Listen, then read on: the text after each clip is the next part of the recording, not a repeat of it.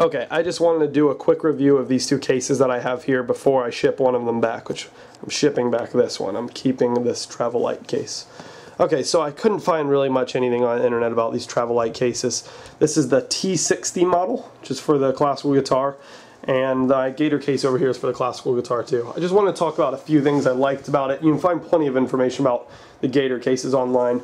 Um, I really like how lightweight this one is, but mostly I really like the quality feels a lot more quality than that case. This actually stays open. The Gator case, the whole guitar will tip over like this, whole case when you pull out your guitar and it looks really unprofessional.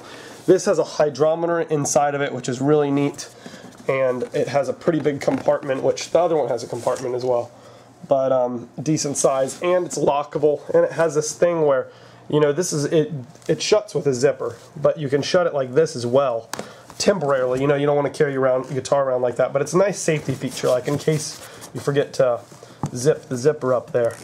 Um, anyways, though, it's a very nice snug fit. I'll show you how it fits my Darren Hippner guitar here. So this is a custom built guitar, so it fits guitars a pretty general shape. I'd say if you have a raised fretboard, you probably be skeptical if it's going to fit or not, but this doesn't have a raised fretboard and it's uh, it's, it fits very nice and snug in there. Um, I really like it. It seems very safe. Um, it shuts fine. No, really no space.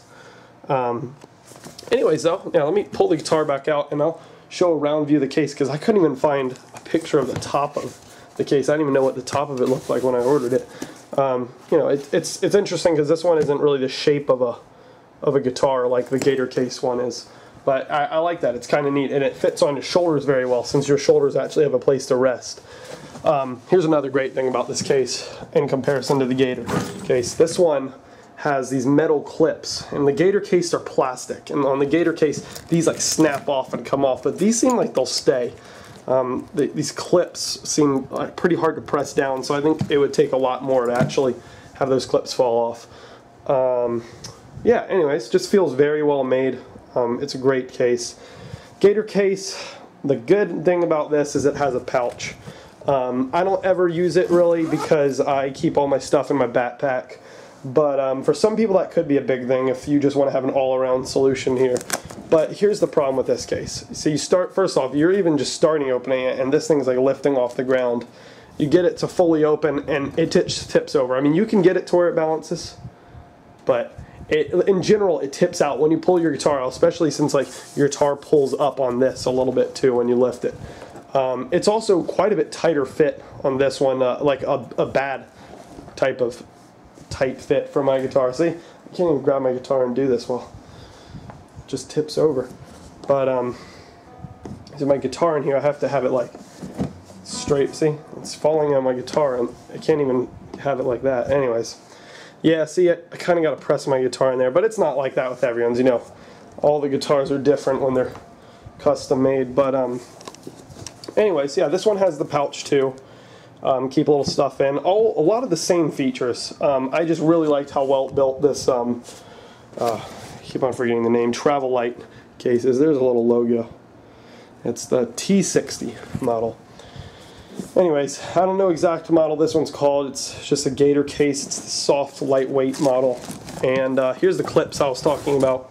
Kind of unreliable. What'll happen, I'll show you. What'll happen is this will come over the top like that. That'll be the first step.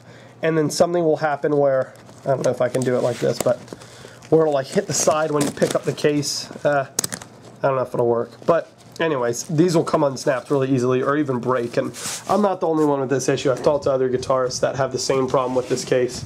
Um, but as you can see, the straps are the same, just the ends of them are different. This one has metal clips. I really like that. Anyways, both great cases, both very valid reasons to use each, but I really like this one. Also, I'm talking about the Travelite. This is the one I'm going to keep. Um, also, there's a price difference. The one over here is $90, the Travelite one, 92 I think it was on Amazon, free shipping.